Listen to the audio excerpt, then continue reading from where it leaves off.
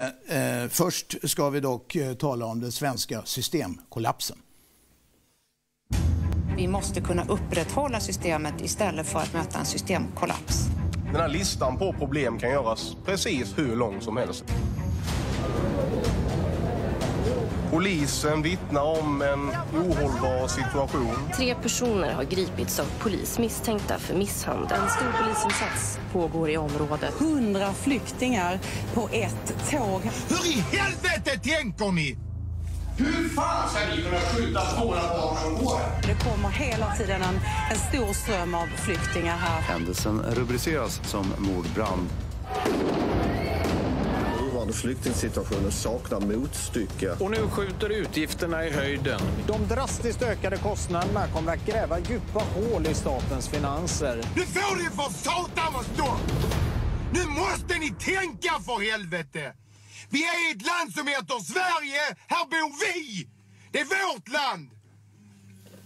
En dyster bild, en skräckbild. Så där målas det upp ofta i nyheterna. Så frågan är, ser verkligheten ut så där? Hur ser det ut med ekonomin? Eh, står vi inför en systemkollaps, eh, Tino?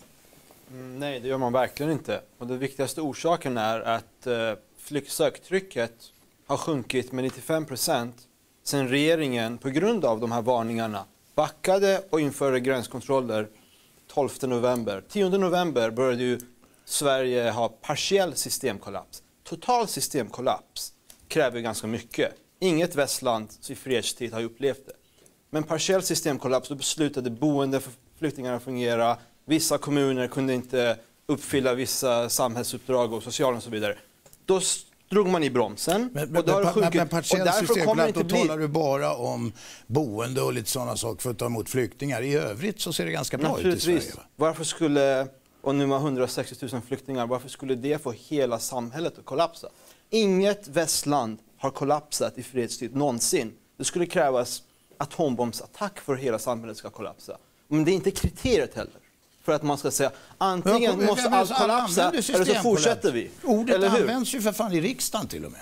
Ja, alltså, ordet användes för att säga vad skulle kunna hända om man fortsätter. Då kom det 10 november då, nästan 2000 per dag. Ja. Då, då backade regeringen till slut, Socialdemokraterna och Miljöpartiet. Och så drog de i nödbromsen och nu har den sjunkit med 95 procent. Mm. Och nu handlar det inte om systemkollaps längre. Nu blir det som, och jag sa i en dansk intervju vid tillfället, att Malmö kollapsade ju inte. Det blev bara gradvis värre år efter år. Så att det är våldsamma överdrifter i det här också. Vi har fler debattörer här. Du vill vifta på handen här, Anita. Ja, jag undrar vad du pratar om. För det första när det gäller ekonomin så är det ju så att varje nyanländ eller flykting som kommer hit och inte har blivit integrerad i Sverige, de räknas ju inte med i det här. Ja, det är jag som har förklarat det här så du behöver inte tala om det för mig. Ja, ursäkta då om jag Ja. Men du, om man tittar så här, eftersom Tino, du brukar ju säga att du, du, du, är den enda som läser Statistiska centralbyråns eh, siffror. Har jag någonsin sagt det? Det tror jag inte. Nej, den enda som kan tolka dem rätt. Du skryter rätt mycket eller. på din Tvärtom blogg och något sagt, i den stilen. har jag sagt att att jag står för forskningskonsensus. Ja. Däremot att media inte alltid vill rapportera nej, men, men, Nu försökte jag citera dig här i positivt eh, och så vidare. Ja.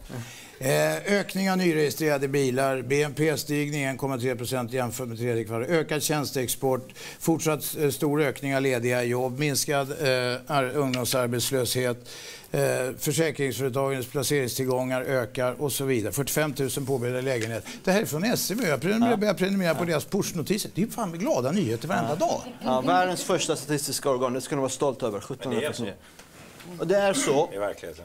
Det går bra alltså? Absolut. Om det här är ett omvänt rotavdrag som har skett. Men problemen kommer om tre, fyra år om vi inte får dem i arbete. Därför mm. så måste de lära sig svenska från första dagen. Mm. Det är det ja, som är problemet. Det är väl ingen som om man inte tar det på allvar. Det. det är de som har emot det. Här är vi, här är vi en, en, en, optimist. Kanske ännu mer än de här.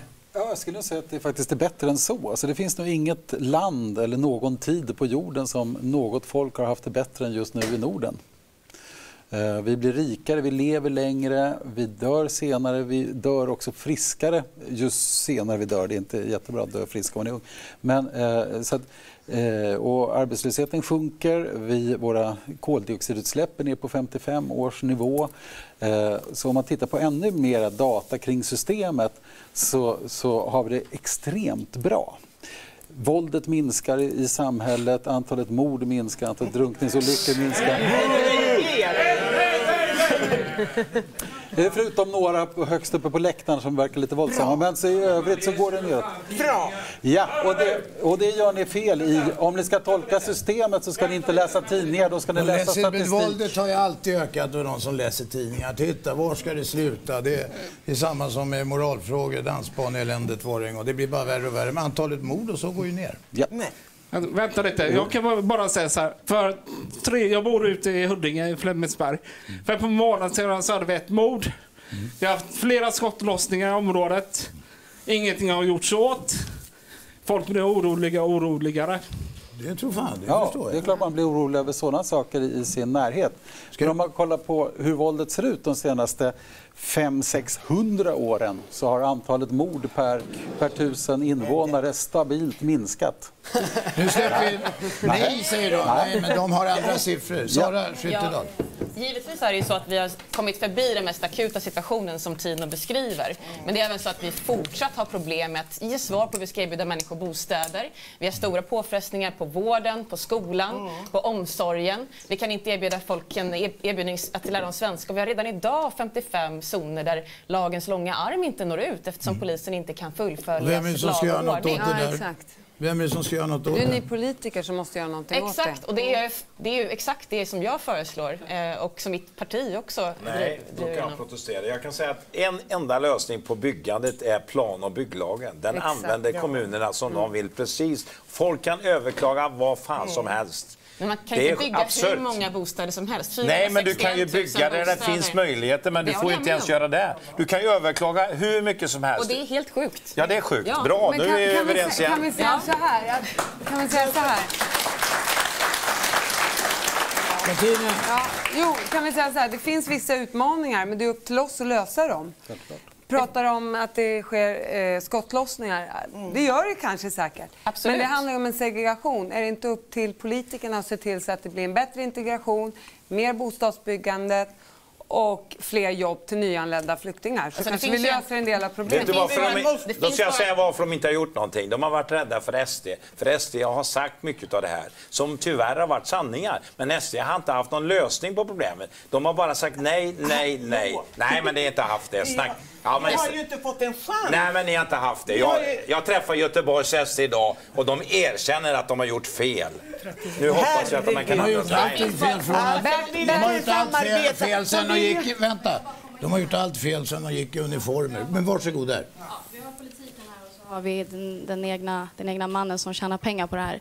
Men det är så att vi, jag kommer från Refugees Welcome Stockholm. Vi, tack så jättemycket. Ja, fortsätt. Ja, men vi har ändå fått dragit ett otroligt stort lass som det civila samhället inte ska få göra. Jag förstår inte vilket systemkollaps ni pratar om. Det är vi som har tagit emot de människorna som kommer till centralstationen. Det är vi som har tagit hand om de människorna som ligger och sover utanför centralplan. Eller centralstationen. Det är väl bra? Ja, nej, men det är jättebra. Men Men det jag, behövs liksom, fler sådana Men är insatser många. oavsett vad vi de gör inte, från vi hade politiken och 150, nej, men så här, vi hade 150 personer som sov utanför men det centralstationen. kommer 10 000 i veckan. Då är det Ja, och precis. Och de har gått via oss. Det är. Och de har hamnat på ditt Bra. boende som Vi har levererar kläder till. Vänta, vänta. Absolut, Det, det det jag kan vi inte lösa nu. Vad vi kan komma fram till att det inte är någon systemkollaps.